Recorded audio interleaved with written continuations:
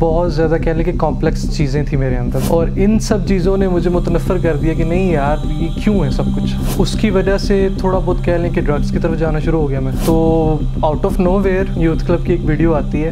بڑے ہی خاص انداز میں شیخ موکلی کی ایک نا آیت سٹارٹ ہوتی ہے۔ اس نے جیسے سانس نہیں روکتا کوئی آپ کی، ویسے وہ سانس روکی۔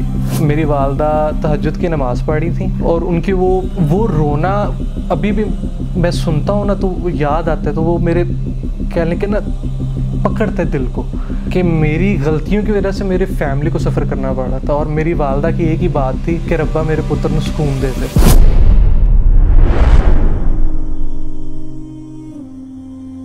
چینج بیسیکلی بہت زیادہ کہہ لیں کہ کمپلیکس چیزیں تھیں میرے اندر۔ مطلب کہ میں جس فیملی کے اندر پیدا ہوا، وہ ایک فرقہ واریت بہت زیادہ تھی ان کے اندر۔ Uh, سیکنڈلی جن سے جن سے قرآن پاک پڑھایا گیا، ناظرہ اور تفسیر وغیرہ پڑھی گئی، تو وہ کسی اور کہہ لیں کہ سیکٹ سے بلانگ کرتے تھے۔ جو میرا کہہ لیں کہ دوستوں کا سرکل تھا، وہ کسی اور سیکٹ سے تھے۔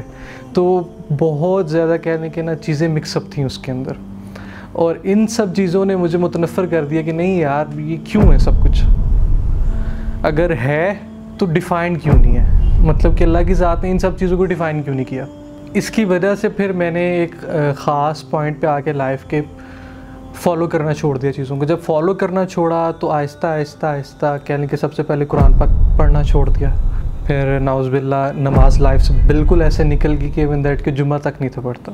اس کی وجہ سے تھوڑا بہت کہہ لیں کہ ڈرگس کی طرف جانا شروع ہو گیا میں۔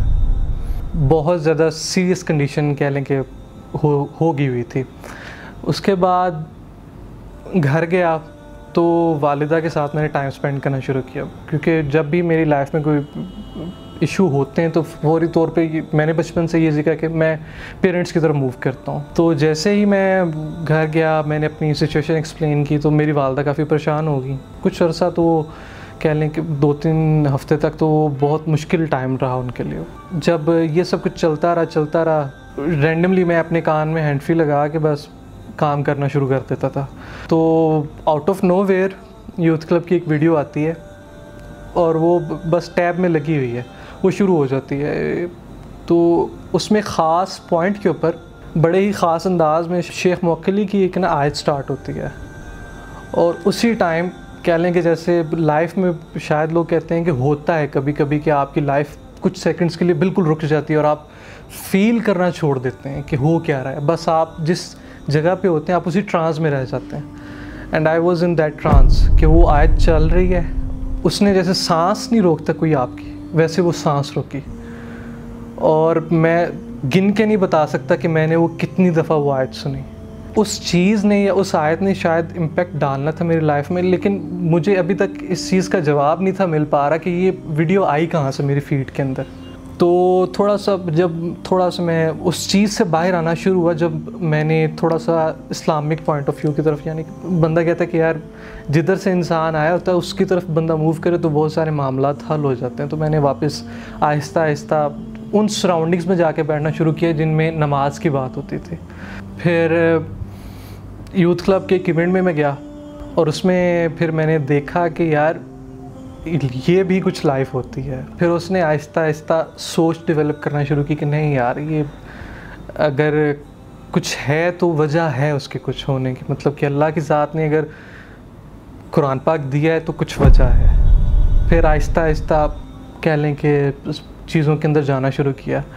لیکن پھنسا میں اسی جگہ پہ تھا کہ یار، وہ ویڈیو کہاں سے آ گئی؟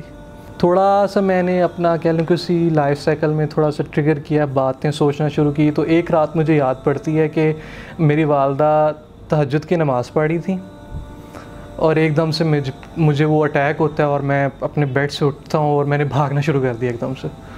اور ان کی وہ کہہ لیں کہ یار، وہ رونا ابھی بھی میں سنتا ہوں نا تو وہ یاد آتا ہے تو وہ میرے کہہ لیں کہ نا پکڑتا ہے دل کو۔ کہ میری غلطیوں کی وجہ سے میرے فیملی کو سفر کرنا پڑا تھا اور میری والدہ کی ایک ہی بات تھی کہ ربا میرے پتر نے سکون دے تھے شاید ان کی دعا اتنی دل سے نکلی تھی کہ اس ویڈیو کے تھرو مجھے یہاں پہ آنا تھا۔ لیکن میں جانتا تک نہیں تھا کہ یوز کلب بھی ایگزسٹ کرتا ہے، کوئی راجہ ضیاء الحق صاحب بھی ہیں جو کہ اس طرح سے لیکچر دیتے ہیں، کوئی توحہ ابن جلیل بھی ہے، کوئی لیت شام بھی ہے۔ بہت سارے لوگ بھی ہیں، لیکن کبھی جان نہ پاتا۔ اگر یہ سب کچھ میرے ساتھ نہ ہوا ہوتا۔ دین آہستہ آہستہ کہہ لیں کہ ابھی بھی میں کوشش کرتا ہوں کہ میں نماز پڑھوں، میں ناصرہ دیکھوں۔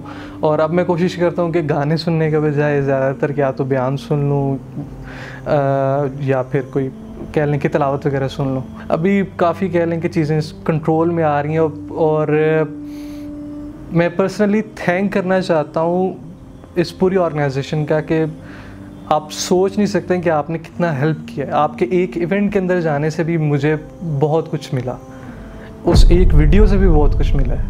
اور شاید میں نہ مانیٹری کوئی آپ کی ہیلپ کر سکوں، نہ ویسے آپ کی کہہ کسی اور ایونٹ میں ہیلپ کر سکوں، لیکن اتنا ضرور بتا سکتا ہوں کہ قیامت والے دن اگر کسی نے کھڑے ہو کے کہا نا کہ ہاں بھائی، آپ کی وجہ سے کوئی ٹھیک ہوا تو ہاتھ میرا لازم ضرور کھڑا ہوا ہوگا ان شاء اللہ that's all from my side جزاك الله.